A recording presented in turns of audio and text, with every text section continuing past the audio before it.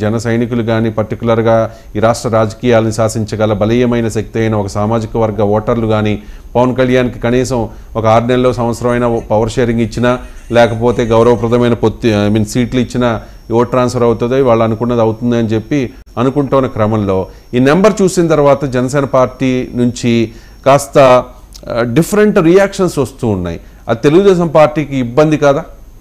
ఆశా గారు? రవిశంకర్ గారి ముందు మీకు నమస్కారాలు నమస్కారం. ఛానల్ వాళ్ళందరికీ నమస్కారం నమస్తే ఇలా పవన్ ఫ్యాన్స్ వాళ్ళకి టీడీపీ ఫ్యాన్ కార్యకర్తలకి ఉత్సాహం అంటే పట్టుకోలేనంత ఆనందంగా ఉంది నిజంగా ఇందాక తమ్ముడు చెప్పారు. ఇరవై నాలుగు సీట్లు తీసుకున్నారు పవన్ కళ్యాణ్ అంటే. ఎస్ పవన్ కళ్యాణ్కి మంచి నాలెడ్జ్ ఉన్న మనిషి కాబట్టి. ఇరవై నాలుగు సీట్లు గెలిచే సీట్లు ఆయన కైలాసం చేసుకుంటానికే తీసుకున్నారు.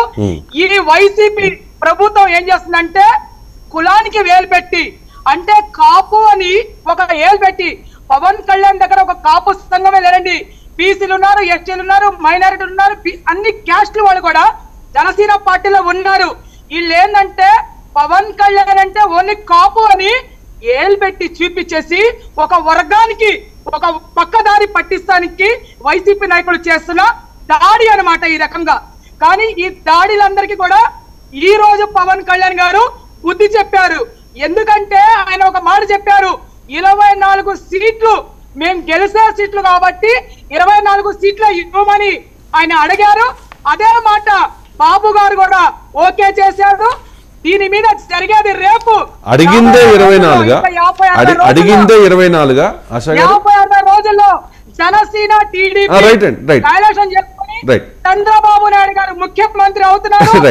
అడిగింది- అడిగింది. వినండి ఒకసారి, వినండి. సిద్ధంగా ఉన్నారు. అడిగింది- మీరు చూశారు. రైట్ మీ మీడియా మీద కూడా దాడులు చూశారు. రైట్ అండి. మీ నేను పత్రికల నేను- నేను మీద అడిగిన దానికి. స్ట్రైట్గా మాత్రమే ఆన్సర్ చేయండి. ప్రసంగాలకు నేను యాక్సెప్ట్ చేయను. ఒక్క నిమిషం ఆశా గారు వాళ్ళు ఆశా గారు దాడులు చేయడానికి ఆశా గారు సిద్ధంగా ఉన్నారు. ఆశా గారు నేను హ్యాండ్ రైజ్ చేశాను ఏదో అడుగుతున్నాను అర్థం చేసుకోండి. ఇరవై నాలుగే అడిగారా? ఇరవై నాలుగు అడిగిన వెంటనే ఏమాత్రం ఆలోచించకుండా ఇరవై నాలుగు ఇచ్చేసారా ఇరవై నాలుగు నేను గెలిచే సీట్లు నేను కోరుకున్నాను. ఆ ఇరవై నాలుగు సీట్లు ఇవ్వండి అని కోరుకున్నారు.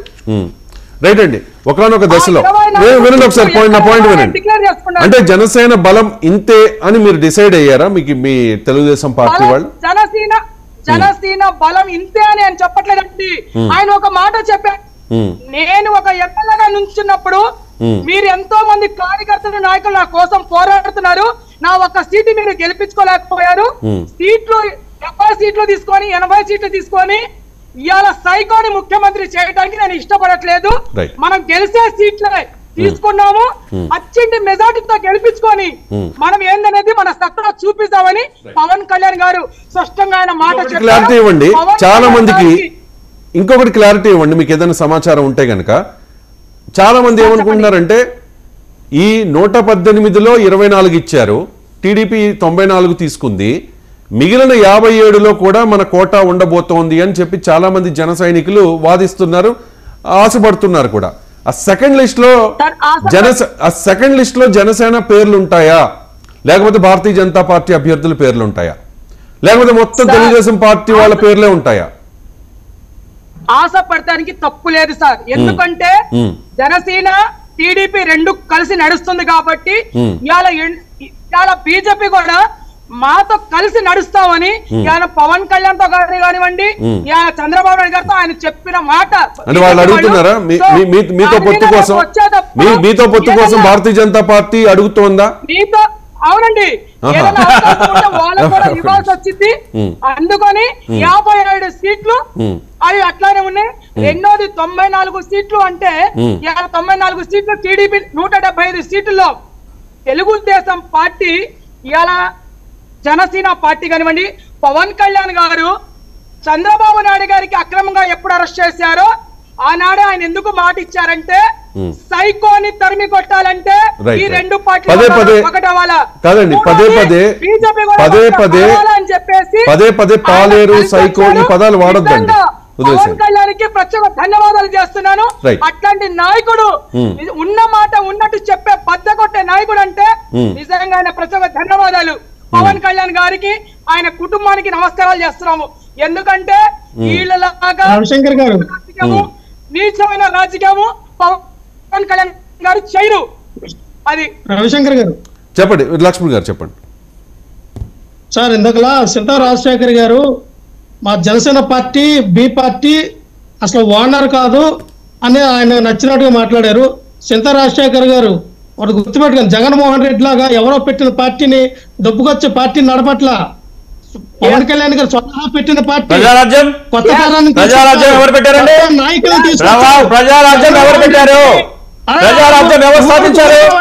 చింత రాజశేఖర్ ఊరుకో ఏ, ఊరుకో, ఊరుకో. ప్రజా- ప్రజారాజ్యం ఎవరు పెట్టారు చెప్పు ప్రజారాజ్యం ఎవరు పెట్టారు లక్ష్మణ్ గారు. ప్రజారాజ్యం ఎవరు పెట్టారు? చెప్పండి.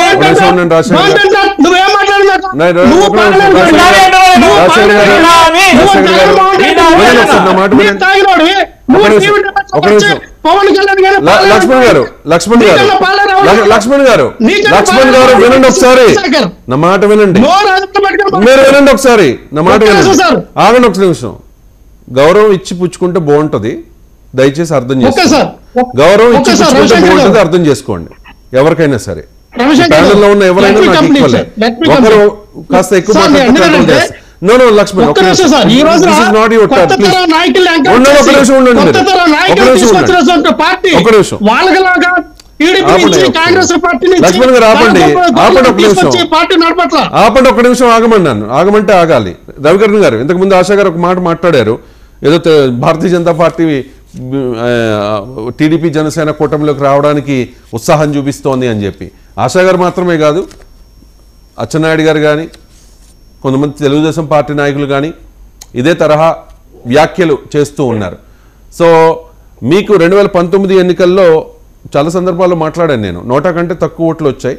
మరి ఈ నాలుగేళ్ళ కాలంలో పోనీ ఈ ఐదేళ్ళ కాలంలో భారతీయ జనతా పార్టీ సింగిల్గా ఇక్కడ పోటీ చేసి అధికారంలోకి వచ్చేసేంత స్థాయిలో అయితే గణని ఆ- ఆ స్థాయిలో అయితే పెరగల.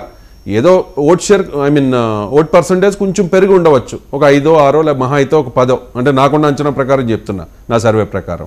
ఇప్పుడు ఎవరి అవసరం ఎవరికి ఉన్నట్టు. భారతీయ జనతా పార్టీ సింగిల్గా పోటీ చేస్తే కనీసం ఒక స్థానంలోనైనా మనకి గెలుస్తామా లేదా అనే అభిప్రాయాలు ఉన్న నేపథ్యంలో మీకు ఆల్రెడీ ఒక యాభై ఏడు సీట్లు పక్కన పెట్టి ఉంచారు. అంటే నెక్స్ట్ ఆ ఆ కోటాలో మీకు ఇస్తామని చెప్పేసి. సో దా అంటే మీకు మీ అధిష్టానం నిర్ణయమే కేంద్రం ఏం చెప్తే అదే చేస్తామని పురంధేశ్వరి గారు చెప్పారు మీరు అదే చెప్తూ ఉన్నారు. ఒక భారతీయ జనత కరడుగట్టిన భారతీయ జనతా పార్టీ వాదిగా మీ పార్టీ ఇక్కడ భవిష్యత్తులో అధికారంలోకి రావాలని ఆశించే వ్యక్తిగా మీరు మీకు అనిపించేది ఏంటో చెప్పండి. ఏం చేస్తే బాగుంటుంది? మీ పార్టీ నాయకులకి ఇచ్చే సూచన? లేకపోతే ఎందుకంటే రెండు వేల పంతొమ్మిది ఎన్నికల్లో మీరు కూడా పోటీ చేశారు కదా. ఇప్పుడు కూడా పోటీ చేయడానికి మీ ప్రయత్నం మీరు చేస్తూ ఉన్నారు. నిజంగా పొత్తు అనేది ఏదైనా ఫిక్స్ అయిందనుకో మీలాంటి వాళ్ళకి అవకాశం వస్తుంది కదా. నా పాయింట్ అర్థం ఏంటుంది మీకు.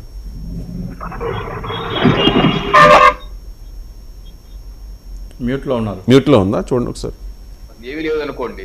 ఉమ్, ఏమీ లేకపోతే మా కోసం మీరు అన్నట్టు ఇప్పుడు మీరు అన్నారు చూసా పది సీట్లు పక్కన పెట్టారు పదిహేను సీట్లు పక్కన పెట్టారని అలా పక్కన పెట్టాల్సిన అవసరం ఏంటి? Hmm. అసలు ఏం మాకేం లేదు కదా ఇక్కడ. లేనప్పుడు ఎందుకు పక్కన పెట్టాల్సిన అవసరం ఉంది?